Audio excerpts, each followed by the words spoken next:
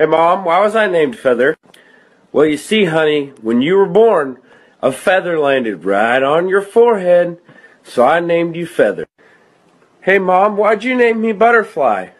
Just like I told your brother, when you were born, a butterfly landed right on your forehead, so I named you Butterfly. Ah!